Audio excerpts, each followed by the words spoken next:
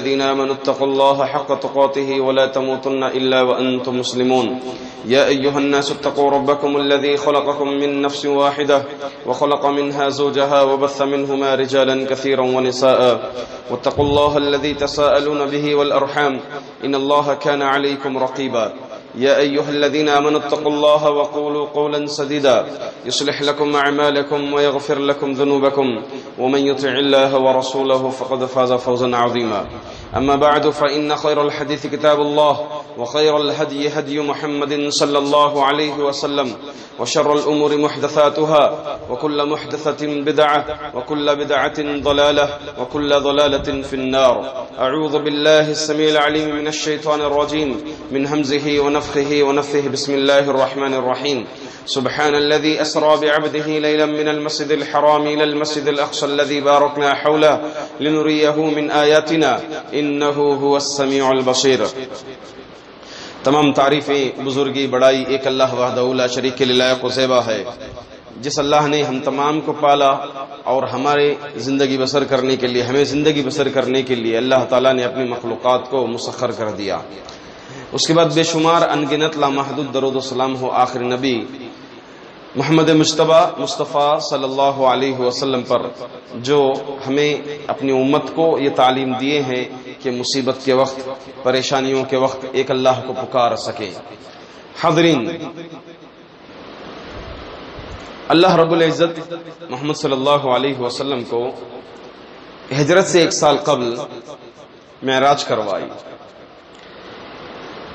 ये महराज जो है एक है इसरा और दूसरा है महराज इसरा, ये सफ़र मस्जिद हराम से मस्जिद अक्सा तक चलता है और महराज ये दूसरा सफ़र मस्जिद अक्सा से सातवें आसमान तक चलता है। इसरा वो महराज जिसका ज़िक्र अल्लाह ताला कुरान करीम में किया सुबहान अल्लज़ी असरा बिअब्दिही लैलम मिनल मस्जिदिल हरामी इलल मस्जिदिल अक्सा अल्लज़ी बारकना हौलहु लिनुरियहु मिन आयातिना इन्नहु हुवस समीउल बसीर। के पाक है वो जात। अल्लदी असरा बेअबदही, जो अपने बंदे को इसरा कराया। कब? एक रात, लैलम मिनल मस्जिद हरामी, मस्जिद हराम से मस्जिद अक्सा की तरफ़। मस्जिद अक्सा के ताल्लुक से फरमाया अल्लदी बारक नाहू जिसके अतराफ व अकनाफ हमने बरकतें नाजिल की हैं। ये महराज इसरा महराज की कई हिकमतें हैं। इसमें से एक अहम हिकमत यह भी है कि अल्लाह ताला जो इस्लाम से कबल दो कौमें, दो मज़हब वाले बड़ा फखर महसूस करते थे आसमानी किताब के नजूल के एतबार से, यहूद और नसारा। ये दो कौमों को और खसूसियत के साथ यहूद को ये इशारा देना था कि अब आपका मामला यहाँ पर खत्म है। अब इस्लाम गालिब होकर के रहेगा ये नबी मोहम्मद सल्लल्लाहु अलैहि वसल्लम आखिरी नबी होंगे। और पूरे आलम में ये इस्लाम सिर्फ़ मक्का व मदीना के दायरे तक नहीं रहेगा, बल्कि पूरे आलम अरब तक दायरे महदूद नहीं रहेगा, बल्कि पूरे आलम में, मशरक शिमाल जुनूब में ये इस्लाम गालिब होने वाला है। इसमें इशारा है, कैसे? इसके बाद वाले आयत जो है अलल फौर अल्लाह ताला बनु इसराइल से खिताब किया, इन यहूदियों से खिताब किया। ये इशारा दे दिया। लिखते हैं मुफसरिन लिखते हैं कि अलल फौर इसरा के बाद यहूदियों को मुखातब करना इस बात की दलील है, इस बात की तरफ़ इशारा है कि इस्लाम गालिब होकर के रहेगा। और हाँ यहूदियों के इल्म में थी ये बात। यहूदियों के इल्म में थी ये बात। कैसे थी ये इल्म बात? जैसे ही उनके ऊपर किताब नाजिल हुई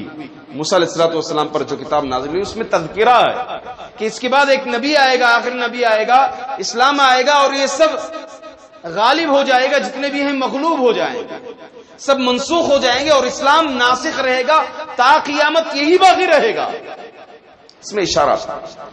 तो तभी से यहूदियों का ये चाल, यहूदियों का कैद, यहूदियों का मकर, इस्लाम के खिलाफ और मुसलमानों के खिलाफ तभी से जहन में है बात। मोहम्मद सल्लल्लाहु अलैहि वसल्लम की पैदाइश हुई।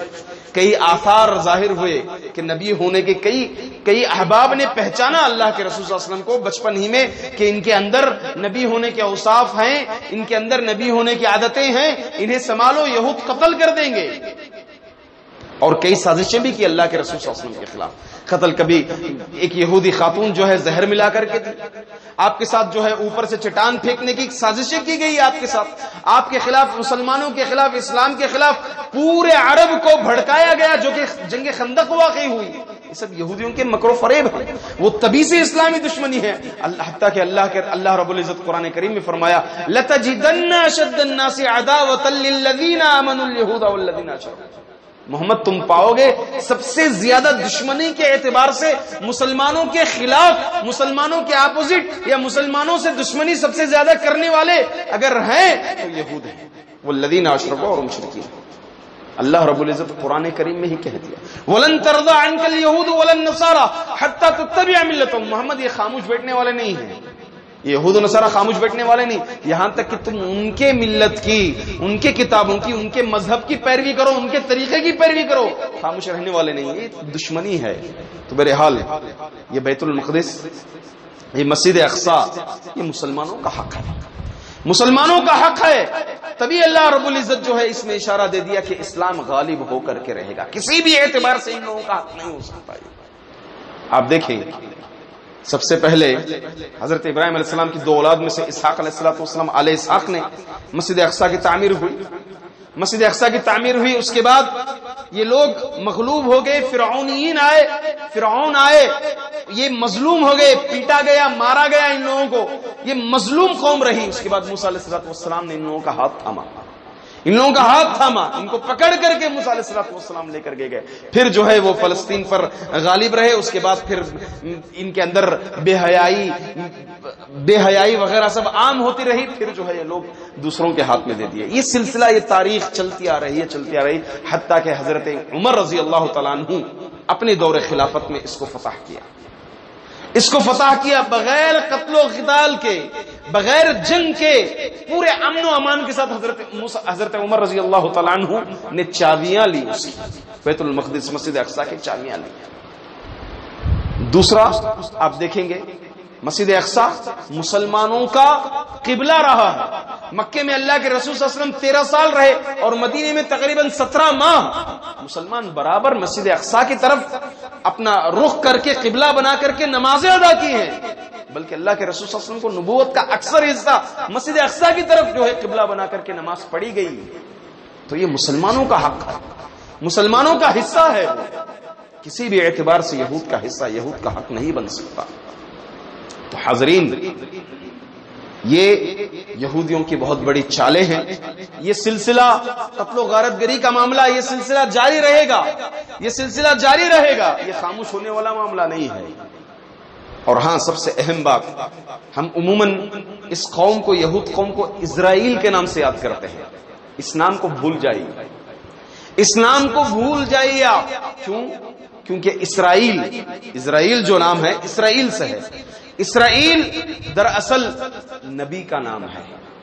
याकूब अलैहिस्सलाम का नाम है। अल्लाह रब्बुल इज़्ज़त जो है कुरान करीम में लन तनालू पारा नंबर चार की दूसरी आयत, यानी सूरह आली इमरान की आयत नंबर 93 में फरमाया, कुल्लु तआमी काना हिल्लल बनी इसराइला। उसमें फरमाया कि याकूब अलैहिस्सलाम इसराइलु।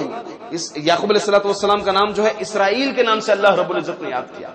इसी तरह सूर्य मरियम आयत नंबर 58 में शुहदा इसमें अल्लाह नअमल्लाह सूर्य मरियम की आयत में अल्लाह ताला जो है याकूब अलैहिस्सलाम को इसराइल के नाम से याद किया इमाम शौकानी रहमतुल्लाह अलैह फरमाते हैं कि इसमें इत्तेफाक है कि इसराइल नाम या तो याकूब अलैहिस्सलाम का दूसरा नाम था या फिर याकूब अलैहिस्सलाम का लकब था इसराइल तो लिहाजा ये लोगों की साजिश है यहूदियों की उन्होंने अपना नाम एक मुकद्दस एक मुआजज नबी का नाम लेकर के अपनी कौम का, अपनी कौम को, दुनिया को बता रहे हैं कि ये कौम है। कभी भी जो है, अल्लाह ताला इसराइल पर लानत फरमाए नौज बिल्ला हरगिज ना फरमाए, हरगिज ना कहें। इसराइल पर लानत फरमाए, बल्कि बदुआ हो जाएगी नबी के ऊपर। एक साजिश है। हत्या के शेख इब्न उथैमीन, शेख साले अल फौजान इसी तरह से शेख अब्दुल अज़ीज़ बिन अब्दुल्ला राजही ये ये उलमा कराम का कहना है कि जो कोई इसराइल पर इस नाम से लानत भेजेगा तो गोया वो बहुत ही खतरनाक वाला मामला है। ये एक नबी के ऊपर इल्ज़ाम है, लिहाजा इनका नाम है यहूद। तो यहूद के नाम से ही इन लोगों को याद करना चाहिए। अगर बदुआ भी दे तो इसी नाम से लेकर के याद करेंगे, यहूद के नाम से, न कि इसराइल के नाम से। तो मेरे कैद ये यहूदियों की साजिशें हैं। ये आज जो है फलस्तीन पुकार रहा है। फलस्तीन रो रहा है। आज कितने बच्चे यतीम हो रहे हैं। कितनी कितनी औरतें बेवा हो रहे हैं और कितने वालिदेन बे औलाद हो रहे हैं आज। कितने वालिदेन बे औलाद हो रहे हैं। कितने बच्चों से वालिदेन का साया हट रहा है। तो मेरे हाल, हमारा हक ये बनता है कि हम ऐसे वक्त कुछ नहीं कर सकते, मगर हमारे पास बहुत बड़ा हथियार है। हमारे पास बहुत बड़ा हथियार है। एक ऐसा हथियार है जो चट्टान को हटा सकता है। एक ऐसा हथियार है जो समंदर में रास्ता बना सकता है। वो है दुआ मेरे भाई। दुआ करें। आप नश्र करने के बजाय ये अखबार, व्हाट्सएपों में फैलाने के बजाय ये अखबार इसकी सही तारीख को जाने, इसको सही माने में समझे और इनके हक में तहजद में उठ करके दुआ करें। अच्छे मौके हैं।